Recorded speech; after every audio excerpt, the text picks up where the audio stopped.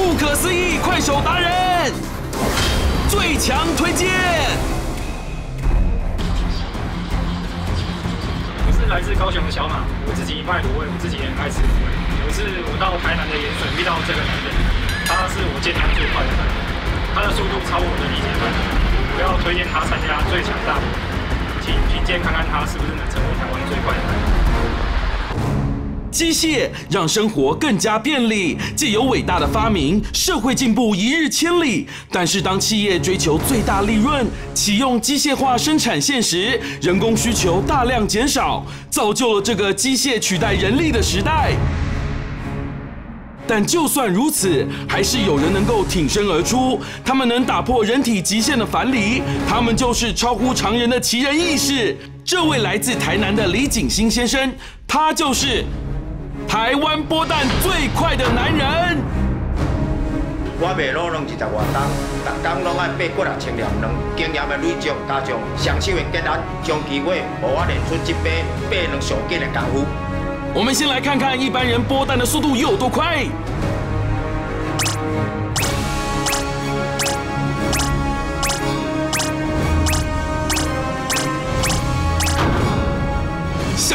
想不到小小一颗蛋，竟剥了十二秒。自己做卤蛋的店家，剥的又能够有多快呢？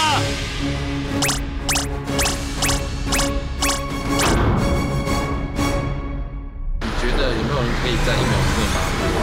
一秒之内剥完，应该不太可能。应该没有了吧？究竟达人的剥蛋速度有多快呢？讲到八人，绝对无人比我更加紧啦。人毕竟有他的极限。它代表科技的进步，也是效率产能的代名词，波蛋业工作机会的终结者。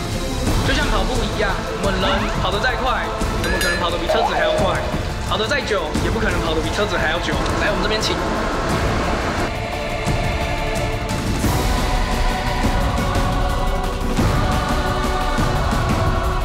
它就是来自新北市的台湾最强自动波蛋机。我们这台剥蛋机已经经过十几年的研发，一个小时可以剥一万颗以上，人力是绝对达不到这个速度的，人力是绝对达不到这个速度的。机械哦，袂当像我双手安尼，因为每一粒卵伊的大小、硬卵的程度无同，我会当用我的双手掠卵的角度，用上紧的速度将卵掰开，所以讲哦，机械哦绝对袂当赢我的双手啦，机械哦绝对袂当赢我的双手啦。一个人的力量是绝对不可能比机器还要快的。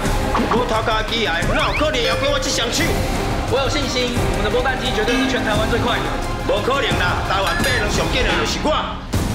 这场人类与机器的战争，究竟谁才是波蛋界的台湾最快呢？嗨，这算是我们最强大国民里面呢看到的矛盾大对决。超矛盾，人力跟机器的对决，都自称自己是最强的，不知道人这个人他为什么对蛋这么了解？这是我的疑问，对不对？对，两手同时弄，对不对？也不知道为什么他对机器会这么的生气，为什么这么抗拒不让机器剥蛋？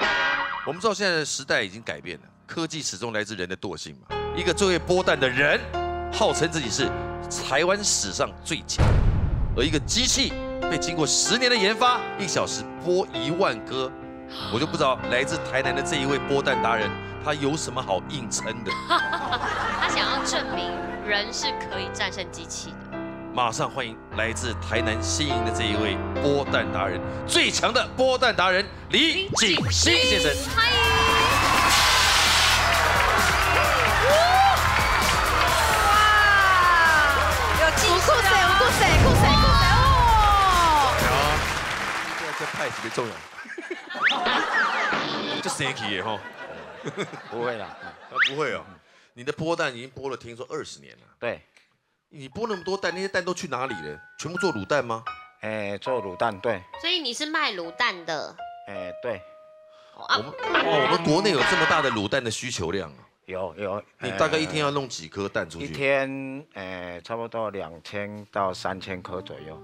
机器一小时播一万颗，对，你一直强调你赢得过它，你那个手这边揉这边捏，画面拍到说你弄出来的蛋没有一颗是破损的，对，那就是 怎么可能？对啊，那就是我可我我能生出机器的原因。那这样子，只要没有破损的话，呃，我的成本就降低，啊，对啊，对，它不能坏啊，而且这样卖相比较好哦卖相比较好。对，那机器剥的话哈，它有蛋壳哈，会会给那个呃呃表皮又剥伤。那我我本身剥的话就不会。蛋在你的手里面非常的服帖，对不对？你可以搞定一切的蛋。对，一颗蛋呢，在我手上的话，拿到客户那个还有温度，蛋送到客人的手上，它还有温度。温度是一种形容词，是一种很 Q 很 Q 的蛋。形容词。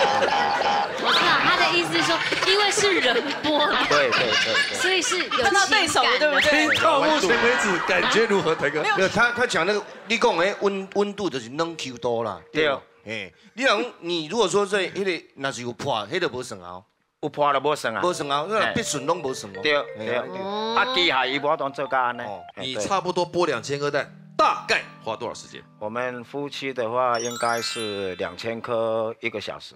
哇所以你们后来有研究出绝剥蛋的诀窍哦，对对，诀窍是什么可？以跟我们分享吗？物件啦，去我找他家做功夫哦，你自然就做厉害。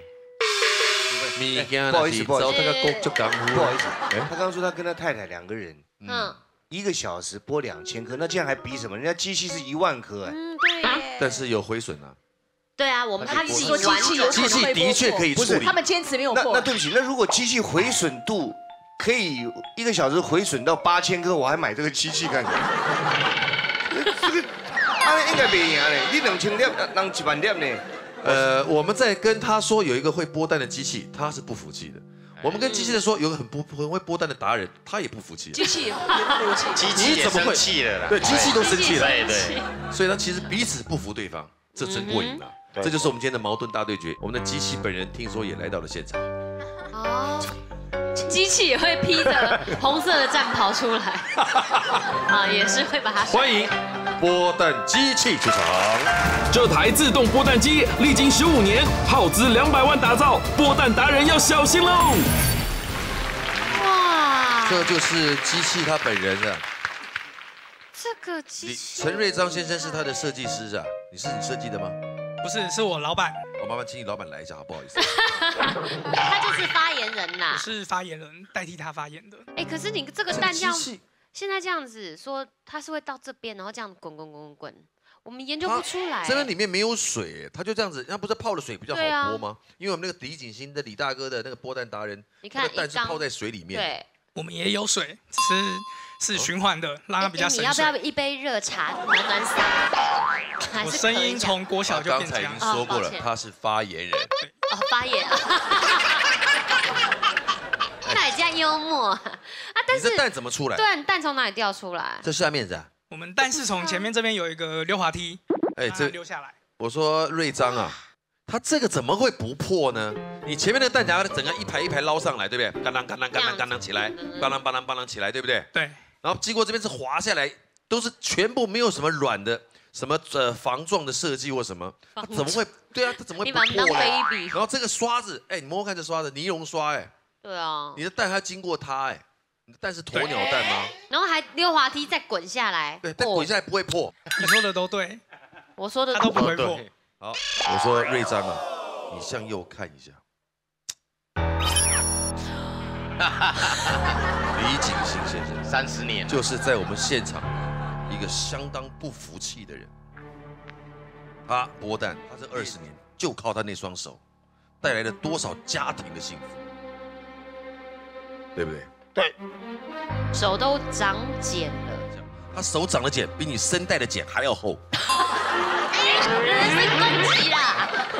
比赛规则，最强大国民，待会在这一关，我们的真正的世纪大对决是人与机器的对决，是的，机器就在这里。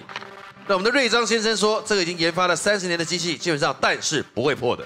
而这边一个小时剥两千颗也是轻而易举的，但是我们节目只有两个小时，不可能看你们一个小时都在剥蛋，因为观众会崩溃。没有一个肚子饿。没有一个节目把波蛋介绍的这么仔细的。我们只有一分钟的时间，OK，哦哦人手是哔一声就已经开始在操作了，但要从它开始当当当当当，有没有？它还有过程，所以机器跟人都是一分钟，好，看最后是谁赢了谁，完好无缺的才算数，所以看谁播得多。你们认为谁会赢？请问戴立刚先生，我们今天听清楚，你是第一位即将回答答案的人，只要押对了，押对了，你觉得谁会赢？押对了，就能拿到一百颗有机的鸡蛋。一百颗，这一百颗你吃个三四个月都没问题多吃不完啦。啊！一天吃一颗，一百颗，你看看吃一百天，三个多月，开心吧？就我的认定而言哦，机器会赢。如果李景星赢了，李大哥，这位来自台南新营的乡亲，他如果赢的话，请问可不可以上我们的新闻龙卷风？可以吗？嗯，当然一定要上的啊。一定要上，对不对因为这是达人，也是奇人，对啊，值得上你们那个节目啊居然可。以赢机器耶！好，谢谢谢谢你，你赌机器。来，马一，我觉得机器会赢，但是我们自单慢着，制作单位现在马上就做做做统计哈，怕他到时候改答案。我希望达人会赢，因为人的温度希望可以赢到，对对对，赢过机器赢过机器的速度，嗯我希人的望温度赢过机器的速度。你看他是重感情的人，嗯他为什么喜欢在台湾？没有没有，他说机器会赢，他现在又希望他赢，他到底要怎么样？他打模糊战那这个这个说法太相怨了。因为马一说，我觉得机器会赢，但是人的温度，我觉得希望人会赢。对对，跟人的温所以蚂蚁你最后只能选择人达人哦，达人会赢。OK，刚才这个我听懂了，他的国语达人，达人。鸡排妹，我觉得如果是以一分钟来说的话是机器，如果说是十五秒，可能就是人。那如果呃，基本上你们用一分钟来决胜负，应该是机器啦。是有，哦，有他自己的。论点哦。所以你认为是机器？好，机器有两票，八三幺。呃，我们觉得是人。哦，为什对么？，我们的论点跟鸡排妹蛮像的，但是我们相信人定胜天。哦，碎啦。哎呦，你其实场面话也说的蛮好的。而且我相信台南波蛋波蛋大王一分钟之内一定可以超过机器。贺大哥，赌谁？科学老飞侠，科学老夫。因为这个机器的东西啊，它搞不好会宕机，嗯，那搞不好啊，这个车子有时候发不动，对不对？你插头插的不行，马上就能播啊。可是它现在一分钟就开始可以播了。好，达人有三票，谁赢？再笨都知道是达人会赢。哎那个机器一那个一个小时一万多颗嘛，一分钟大概一百五十颗嘛，一秒钟大概二至三颗嘛。我们这位大哥一秒钟也是可以两颗哦。那人的瞬间爆发力是机器比不上的哦。一旦瞬间爆发一旦 action 以后，李大哥搞不同一分泌啊，但机器是死的啊，它一直在那慢慢跑才刚啊刚。想成是你，啊，不要忽略人的潜力。是凡哥，刚刚沈玉琳说再笨的都要选人，对不对？嗯我真的是那个笨蛋。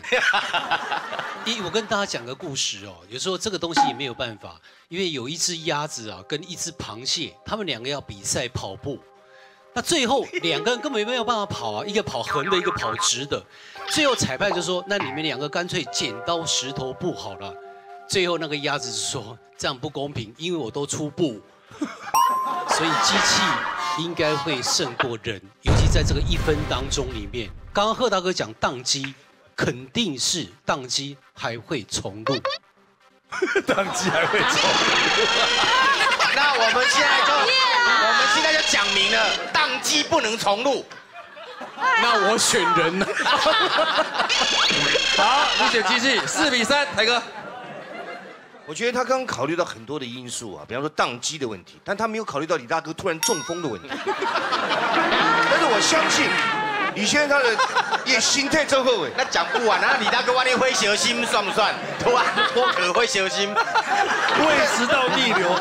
但是我讲我讲一点，因为你你表现的时间只有一分钟，对，我觉得这个一分钟的这个时间，他是可以撑得住的。嗯，三分钟就不见得了。所以，因为三分钟他就会看那边，他会就他就会开始喘，你知道吗？他就会那个血液会飙太高，睾固酮会分泌太多。又睾固酮对对对，所以所以我觉得一分钟的情况之下，赢的人是李先会赢。来，五比三，宝妈最后一位。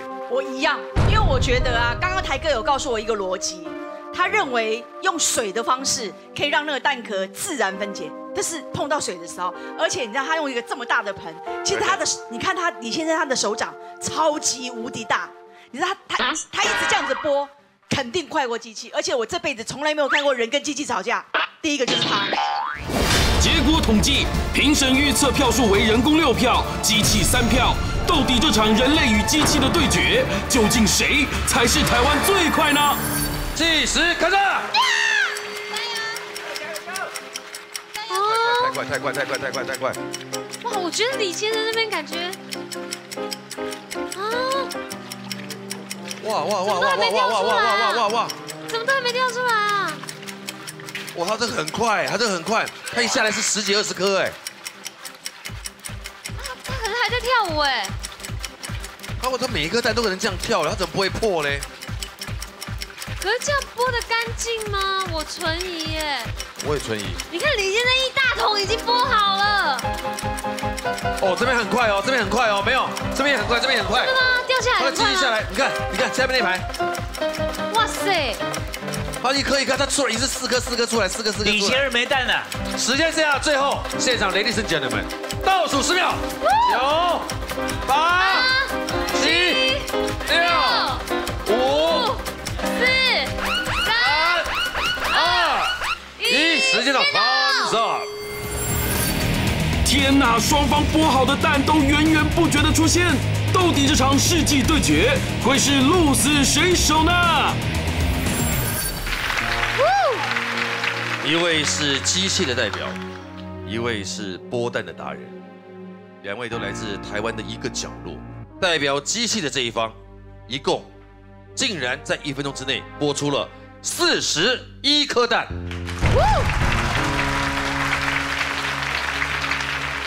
一点多秒，还有一些因为时间的关系还没有流出来。对他，因为他需要一个时间，当然还有十几个，因为他需要他有蓄力要滚的。问题是。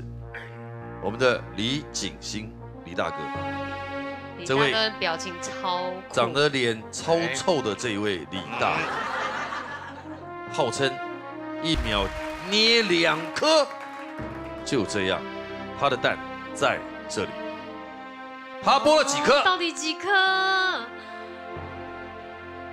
哇！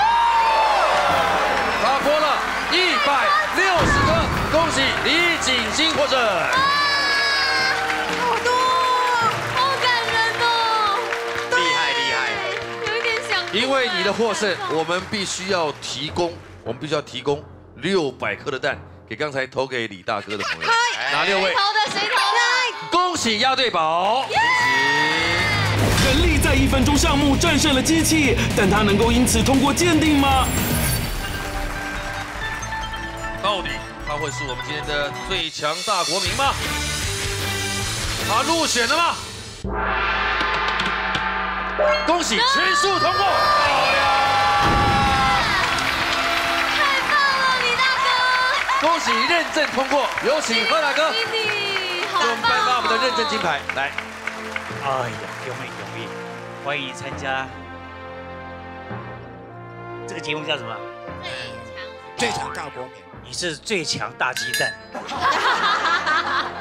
来来来来，恭喜恭喜波蛋达人，最强的波蛋达人，值得尊敬。你的人力战胜了机器耶！研究了二十年，超过了已经运行三十年的机器，真的不容易。对，好那机器的刚才呢，那个瑞章呢，我们的陈瑞章特别强调，机器就在于它有持久的耐心。是你让人工作八小时吗？不可能。对。所以呢，他必须在一个小时之内完成工作，否则他跟他老婆有离婚的可能。所以大哥也是有感觉到自己的那个体内有在分泌到脑这里吗？哎，有有。你刚怎样？下面活动搞固酮，你知道吗？一种一种会刺激肾上腺素分泌出来的地方。对啦，这搞不懂很厉害，好不好？继续为我们波蛋继续贡献，好棒！好，谢谢李锦星大哥，谢谢。恭喜最有温度的波蛋达人李景星赢得这场宿命大对决，进入最强名人榜。